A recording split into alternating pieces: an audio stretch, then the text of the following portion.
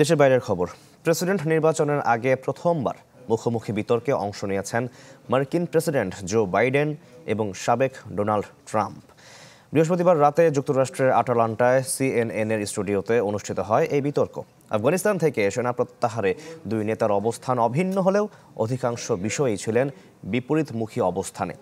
আর সেগুলো বাস্তবায়ন নিয়েও বিতর্কে একে অন্যের সমালোচনা করেন তারা। আসছে নভেম্বরের প্রেসিডেন্ট নির্বাচনের আগে আরও দুটি মুখোমুখি বিতর্কের বিষয়ে একমত হয়েছেন বাইডেন ও ট্রাম্প। নগদের কাছে সব গ্রাহকই প্রিয়, তাই তো সারা দেশে ক্যাশ আউট চার্জ সবচেয়ে কম।